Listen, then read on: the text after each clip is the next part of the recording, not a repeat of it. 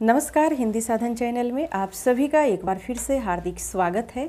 आज के इस वीडियो में वस्तुनिष्ठ प्रश्नों को लेकर मैं उपस्थित हुई हूँ, जो कि आपके टीजीटी पीजीटी नेट जेआरएफ परीक्षा के लिए उपयोगी सिद्ध हो सकता है। वीडियो को पूरा अंत तक ज़रूर देखें, क्योंकि बहुत मेहनत करना होता है आप सभी के लिए वीडियो बनाने में।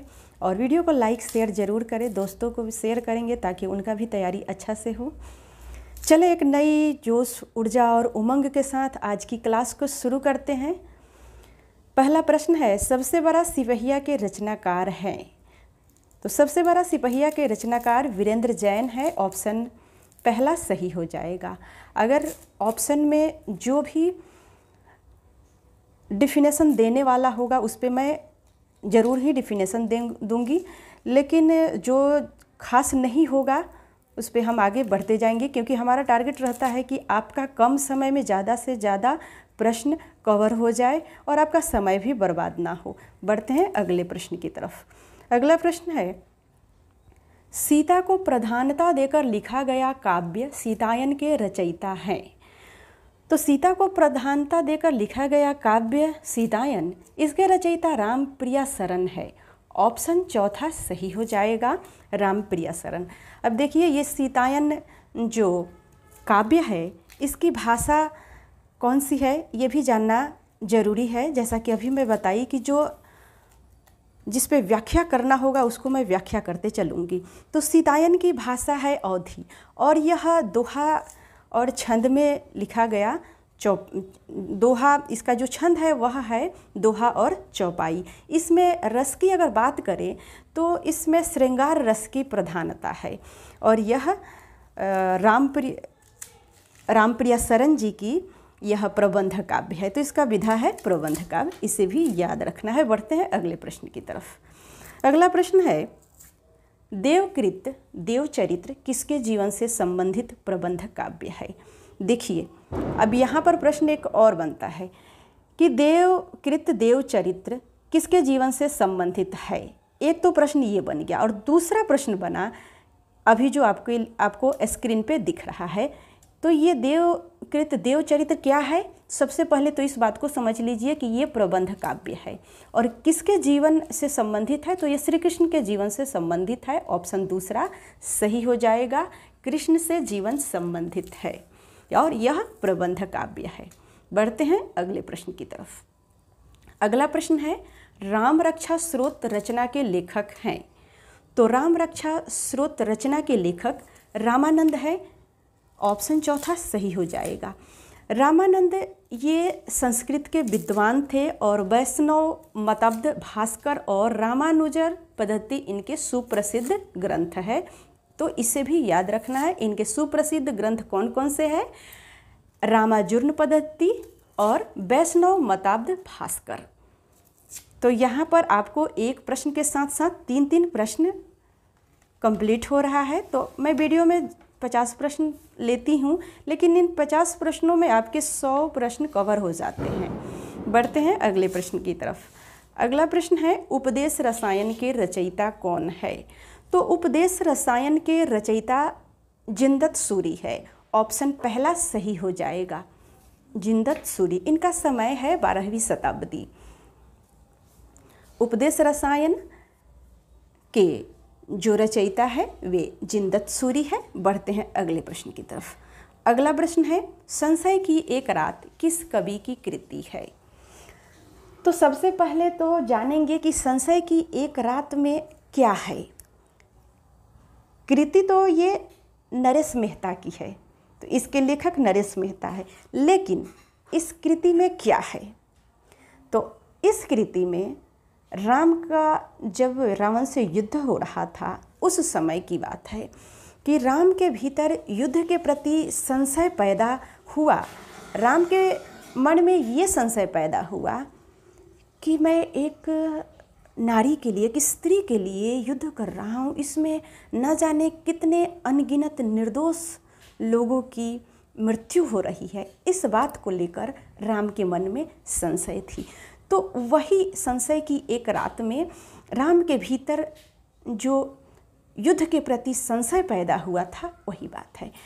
और एक आधुनिक मनुष्य की तरह राम किस प्रकार से चिंता को प्रकट करते हैं, ये इस संशय की एक रात रचना में नरेश नरेश मेहता जी ने लिखा है। और इनकी जो ये लिखने की शैली है तो नाटक शैली में लिखी गई ये लंबी कविता है।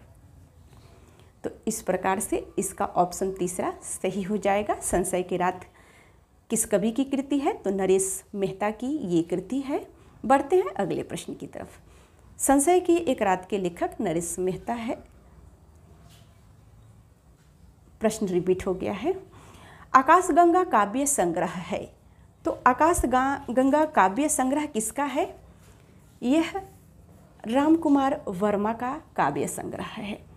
तो याद रखेंगे, यह काव्य संग्रह है। तो आकाश गंगा किसकी रचना है? ऐसे भी प्रश्न बन सकते हैं।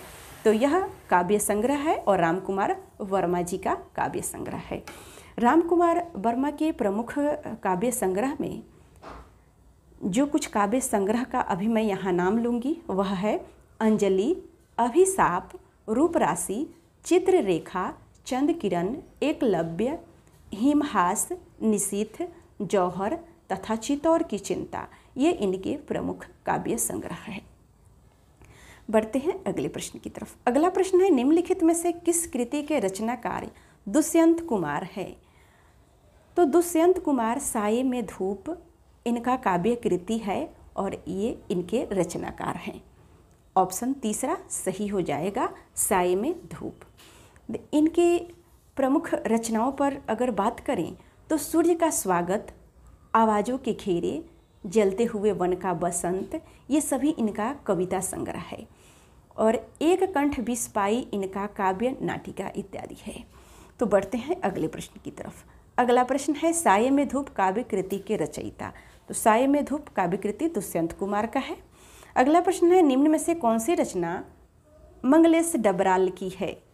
तो मंगलेश डबराल की जो रचना है, वह है पहाड़ पर लालटेन। पहाड़ पर लालटेन, ये मंगलेश मंगलेश डबराल की काव्य रचना है। तो यहाँ पर भी आपका ये क्लियर हो गया कि यह जो रचना है, पहाड़ पर लालटेन, यह काव्य रचना है। बढ़ते हैं अगले प्रश्न की तरफ़। अगला प्रश्न है राम कथा पर आधारित काव्य कौन सा है? तो राम कथा पर आधारित जो काव्य है, वह है भूमिजा ऑप्शन दूसरा सही हो जाएगा। अब एक और प्रश्न बनेगा राम कथा पर आधारित भूमिजा के लेखक कौन है? तो लेखक इसके नागार्जुन है। नागार्जुन के द्वारा यह रचित राम कथा पर आधारित काव्य है। यह काव्य रामकथा पर आधारित है, जिसमें सीता सर्वाधिक महत्वपूर्ण पात्र है। बढ़ते हैं अगले प्रश्न की तरफ़। अगला प्रश्न है, निम्नलिखित में से कौन सी काव्य कृति रामकथा पर आधारित नहीं है? तो सबसे पहले तो हम देखेंगे कि रामकथा पर आधारित कौन कौन सी कृति है, ताकि आपको पता चल जाए कि कौन कौन सी जो रचना है वो रामकथा पर आधारित है। अगर इसके लिए भी प्रश्न बने तो आप इन सबको जाने। सम्बुक यह राम कथा पर आधारित है। अग्निलिख यह भी रामकथा पर आधारित है।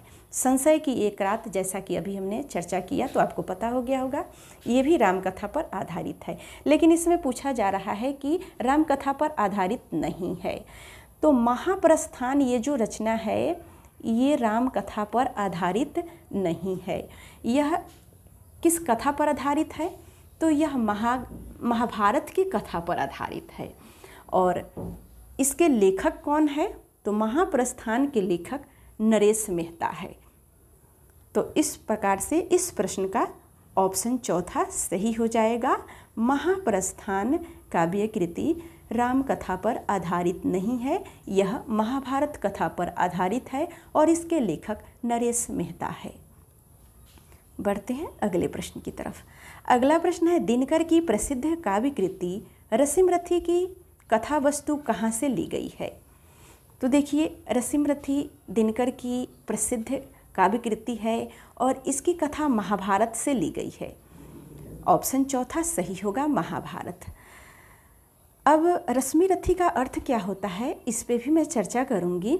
रश्मिरथी का अर्थ होता है, वह व्यक्ति जिसका रथ रश्मि अर्थात सूर्य की किरण के समान हो। इस काव्य में रश्मि रथी नाम कर्ण का है, क्योंकि उसका चरित्र सूर्य के समान प्रकाशमान है और कर्ण महाभारत महाकाव्य का अत्यंत ही यशस्वी पात्र है। और वैसे भी कर्ण को सूर्य पुत्र ही माना जाता है, क्योंकि कुंती को कर्ण कौमारे अवस्था में ही सूर्य की कृपा से वो गर्भवती हुई थी और कर्ण रूपी बालक को उन्होंने जन्म दिया और लोकलाज के वजह से उन्होंने उस बालक को नदी में डाल दिया, किसी टोकरी में करके और वही बालक को किसी जो दूसरे गाँव में गया और खैर उस पर मैं ज़्यादा चर्चा नहीं करूँगी। तो कर्ण की यह रसिमरथी कथा वस्तु कर्ण से ही संबंधित है और महाभारत से ली गई है। बढ़ते हैं अगले प्रश्न पर अगला प्रश्न है, अग्निलिख काव्य नाटक कृति के रचनाकार है। तो अग्निलिख काव्य नाटक कृति के रचनाकार भरतभूषण अग्रवाल है। यह काव्य नाटक कृति है भरतभूषण अग्रवाल की। इस कृति में रामकथा को मिथकीय आयाम प्रदान करने के लिए आधुनिक युग से परिवेशानुसार चित्रित किया गया है। अगला प्रश्न है, शमशेर बहादुर सिंह द्वारा लिखित दो आब किस विधा की रचना है? तो शमशेर बहादुर के द्वारा लिखित दो आब यह काव्य विधा की रचना है। ऑप्शन चौथा सही हो जाएगा, काव्य विधा। अगला प्रश्न है निम्नलिखित में से कौन सी कविता शेर सिंह अनपढ़ की है? तो शेर सिंह अनपढ़ की कविता मुर्दा का बयान है। ऑप्शन पहला, सही हो जाएगा। यह जो इनकी रचना है, कविता है, यह जीवन को सत्य को प्रकट करती है। इस कविता में कवि ने जीवन के सत्य को प्रकट किया है। अगला प्रश्न है, वह कौन सा विकल्प है जिसमें दिए गए सभी लेखकों ने कवि एवं नाटककार दोनों रूपों में प्रसिद्धि प्राप्त की है? तो जयशंकर प्रसाद कवि और नाटककार भी थे। भारतेंदु, इन्होंने भी काव्य रचना और नाटक किया। राम कुमार वर्मा भी कवि और नाटककार हैं। तो इस प्रकार से ऑप्शन दूसरा सही हो जाएगा। जयशंकर प्रसाद, भारतेंदु, हरिश्चंद्र राम कुमार वर्मा। ये तीनों के तीनों प्रसिद्ध कवि एवं नाटककार के रूप में प्रसिद्धि प्राप्त की है। बढ़ते हैं अगले प्रश्न की तरफ़। रेडियो नाटककार के रूप में कौन सा लेखक अधिक प्रसिद्ध है? तो रेडियो नाटककार के रूप में चिरंजित अधिक प्रसिद्ध है। ऑप्शन, पहला सही हो जाएगा। देखिए, आज वर्तमान समय में नाट्य संप्रेषण के तीन माध्यम हमारे सामने विद्यमान है।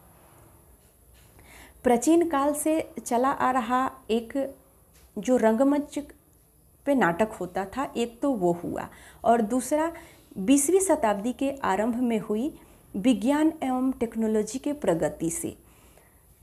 तब इस समय दो नाट्य संप्रेषण का जन्म हुआ। एक हुआ माइक्रोफोन और दूसरा हुआ कैमरा माइक्रोफोन। तो माइक्रो, माइक्रोफोन पे रेडियो नाटक ने जन्म दिया। तो ये जो माइक्रोफोन पे जो जो भी प्रसारण हुआ तो वो रेडियो नाटक के रूप में जन्म लिया।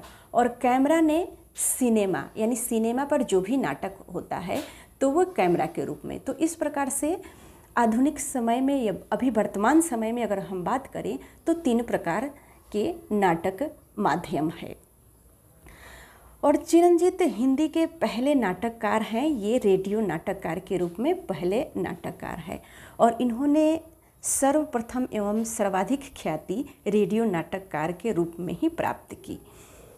अगला प्रश्न है, मंगलेश डबराल का कविता संग्रह है। तो मुझे उम्मीद है कि आप इसका जवाब दे दिए होंगे, क्योंकि इससे रिलेटेड जो प्रश्न था, उस पर मैं चर्चा की थी। पहाड़ पर लालटेन किस विधा की रचना है? तो यह कविता संग्रह है। देखिए, कई बार होता है कि कवियों का जो कविता संग्रह होता है तो उनमें से कुछ कुछ ऐसी कविताएँ होती है, जैसे पहाड़ पर लालटेन, ये कविता संग्रह है मंगलेश डबराल जी का, लेकिन इस शीर्षक से कविता भी होती है तो ऐसा भी होता है। तो पहाड़ पर लालटेन सही उत्तर हो जाएगा। बढ़ते हैं अगले प्रश्न की तरफ़। मंगलेश डबराल की रचना है तो मंगलेश डबराल की रचना, पहाड़ पर लालटेन, ऑप्शन दूसरा, सही हो जाएगा। अगला प्रश्न है, निम्न में से कौन सा लोकगीत उत्तराखंड का नहीं है? तो यहाँ पर पूछा जा रहा है कि उत्तराखंड का कौन सा लोकगीत नहीं है? तो देखिए, न्योली जो है, यह उत्तराखंड का लोकगीत है। चौमासा भी उत्तराखंड का लोकगीत है और चाचरी भी उत्तराखंड का ही लोकगीत है। अब कौन सा नहीं है? तो चहका ये उत्तराखंड का लोकगीत नहीं है। तो चहका है क्या? इस पर भी हम चर्चा कर लेंगे। चहका, यह पूर्वी उत्तर प्रदेश में होली के अवसर पर गाया जाने वाला गीत है। तो इससे भी अगर प्रश्न बने तो आपको पता होनी चाहिए, ये होली के अवसर पर गाया जाने वाला गीत है चहका, पूर्वी उत्तर प्रदेश में। बढ़ते हैं अगले प्रश्न की तरफ़। अगला प्रश्न है, पहाड़ पर लालटेन के कवि मंगलेश डबराल है। प्रश्न है, कविता की तीसरी आँख के रचनाकार हैं। तो कविता के तीसरी आँख के रचनाकार प्रभाकर क्षेत्रीय हैं। प्रभाकर क्षेत्रीय बड़े प्रख्यात आलोचक, नाटककार और निबंधकार है।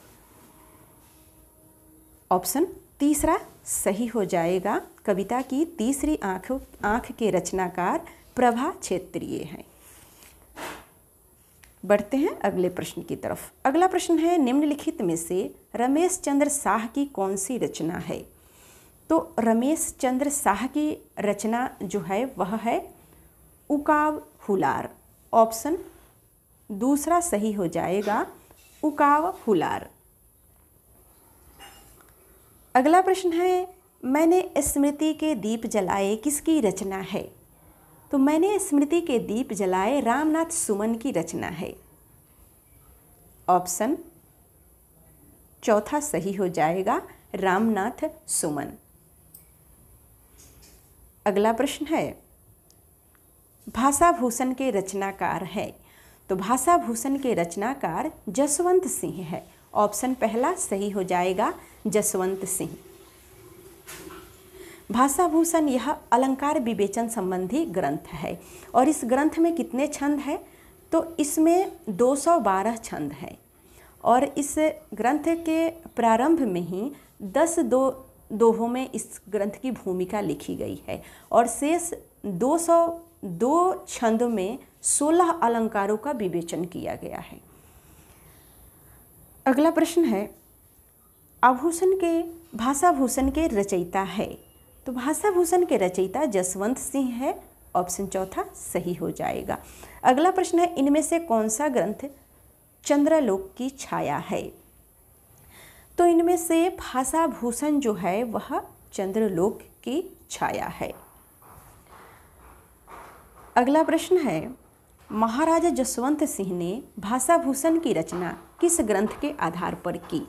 तो इन्होंने भाषा भूषण की रचना चंद्रलोक ग्रंथ के आधार पर की ऑप्शन चौथा सही हो जाएगा।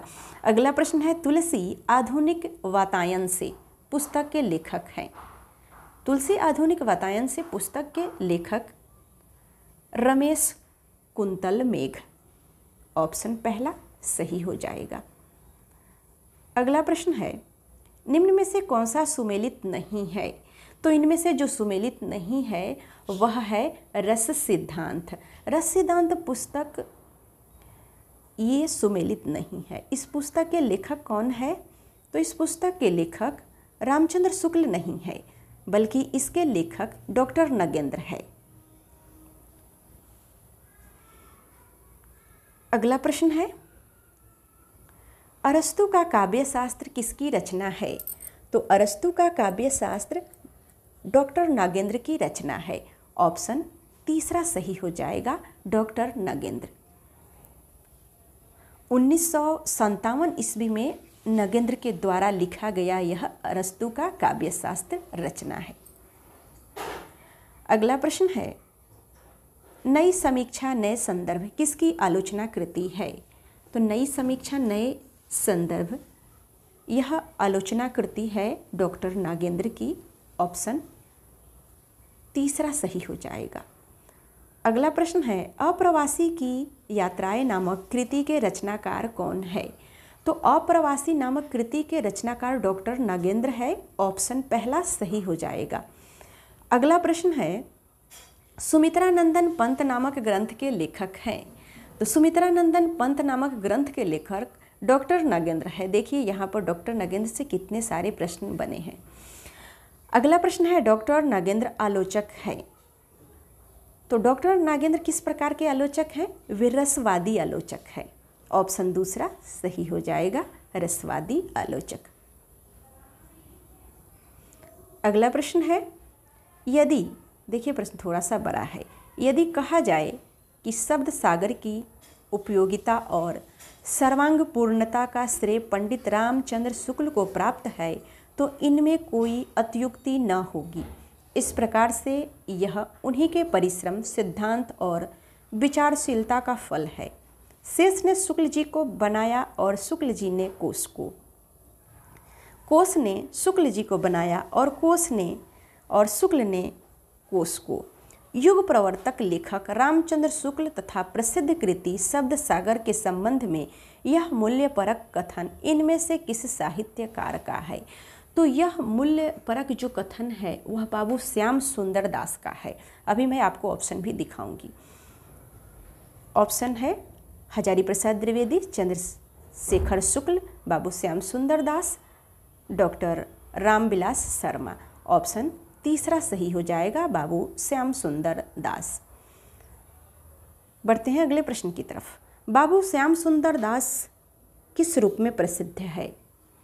तो बाबू श्याम सुंदर दास ये आलोचक के रूप में प्रसिद्ध हैं। ऑप्शन चौथा सही हो जाएगा, आलोचक।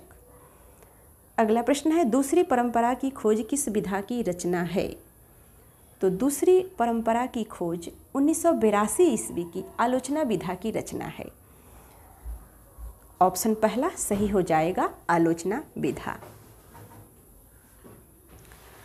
अगला प्रश्न है, डॉक्टर नामवर सिंह की पुस्तक दूसरी परंपरा की खोज किस पर केंद्रित है? तो डॉक्टर नामवर सिंह की पुस्तक दूसरी परंपरा की खोज, यह हजारी प्रसाद द्विवेदी पर केंद्रित है। ऑप्शन पहला सही हो जाएगा, हजारी प्रसाद द्विवेदी। अगले प्रश्न की तरफ़ बढ़ते हैं। अगला प्रश्न है, दूसरी परंपरा की खोज के लेखक हैं। तो दूसरी परंपरा खोज के लेखक नामवर सिंह है। ऑप्शन तीसरा सही हो जाएगा। अगला प्रश्न है, निम्नलिखित में से किस कृति के लेखक नामवर सिंह है? तो दूसरी परंपरा की खोज, कृति के लेखक नामवर सिंह है। ऑप्शन दूसरा सही हो जाएगा। अगला प्रश्न है, कविता के नए प्रतिमान किस आलोचक की कृति है? तो यह कृति नामवर सिंह की है। ऑप्शन दूसरा सही हो जाएगा। अगला प्रश्न है, नामवर सिंह का यह कथन इनमें से किस पुस्तक के लिए है? कि पूर्ववर्ती व्यक्तिवादी इतिहास प्रणाली के स्थान पर सामाजिक अथवा जातीय ऐतिहासिक प्रणाली का आरंभ करने वाली यह पहली हिंदी पुस्तक है। ऑप्शन पहला सही हो जाएगा हिंदी साहित्य की भूमिका। अगला प्रश्न है,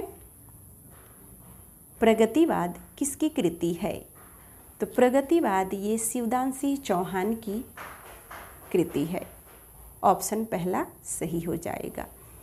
अगला प्रश्न है, निम्नलिखित में से किसने हिंदी साहित्य का इतिहास नहीं लिखा?